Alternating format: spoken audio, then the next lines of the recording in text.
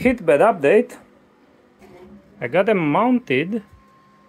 Couldn't get the right screws, but at least they fit. There's a weird pattern for the holes. You see these ones are here, while these ones are in the middle. I used the new drilling jig, which is much better because it's in two colors, but more importantly, it has the holes in the right place. I drilled and tapped this by hand because I don't have a drill press and it was not fun.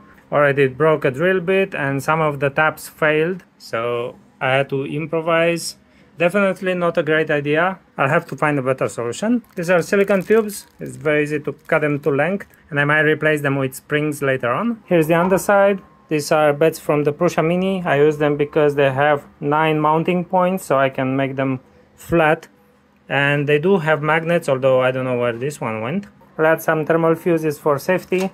And these are the smallest possible thermal sensors. They looked much bigger in the photos. Oh, we've got the arm fixed. Ta-da!